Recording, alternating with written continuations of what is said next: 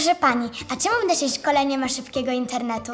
Oj, bo to nie jest takie proste. Podobno to dziecinnie proste. A w telewizji mówili, że jest już darmowy internet dla wszystkich szkół.